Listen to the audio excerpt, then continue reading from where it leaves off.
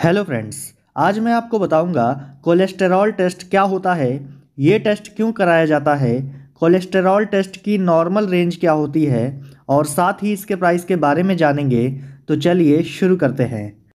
Number one cholesterol test क्या होता है?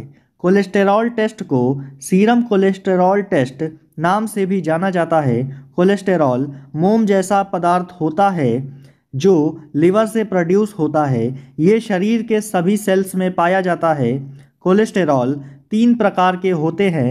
नंबर वन एलडीएल जिसका पूरा नाम लो डेंसिटी लाइपोप्रोटीन होता है।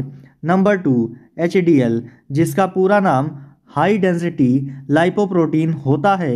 नंबर थ्री वीएलडीएल जिसका पूरा नाम वेरी लो डेंसिटी लाइपोप्रोटीन होता है।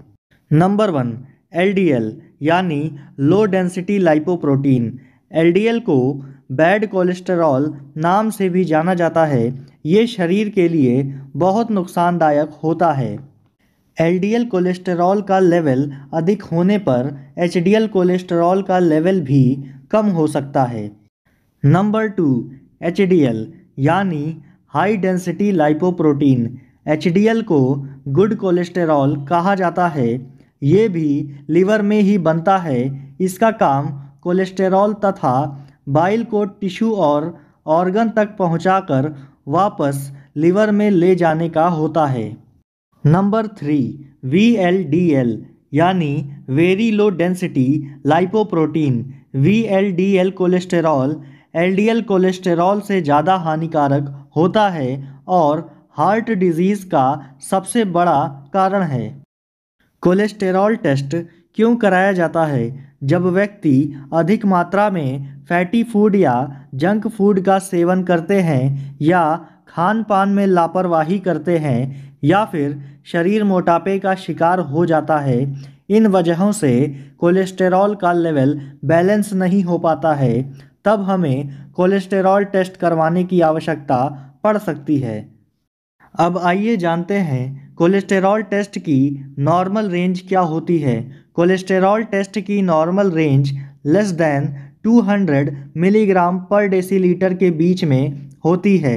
एलडीएल कोलेस्टेरॉल की नॉर्मल रेंज 50 से 150 मिलीग्राम पर डेसीलीटर के बीच में होती है। एचडीएल कोलेस्टेरॉल की नॉर्मल रेंज 10 से 40 मिलीग्राम पर डेसीलीटर के बीच में होती है। V L D L cholesterol की नॉर्मल रेंज 10 से 35 मिलीग्राम पर डेसीलीटर के बीच में होती है। कोलेस्टेरॉल टेस्ट कैसे होता है? कोलेस्टेरॉल टेस्ट के लिए ब्लड सैंपल की आवश्यकता होती है, जो पेशेंट के वेन से लिया जाता है।